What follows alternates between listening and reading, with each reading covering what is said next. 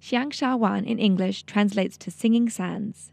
The area is a sand hill shaped like a crescent, and it stands at 100 meters long and 200 meters high.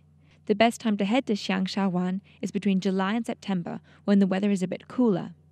You can take an early morning train from the city of Baotou and head back to the city in the evening.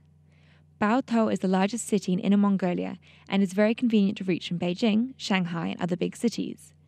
We invited the manager of the resort to talk a bit more about the resort's facilities.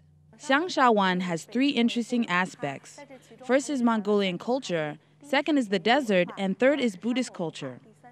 Xiangsha at this time has three areas. Sounding Sand Harbor, it's the central area for tourists. Yuesha Island, it's a leisure and sports area. Third is Liansha Island. This island is focused on leisure.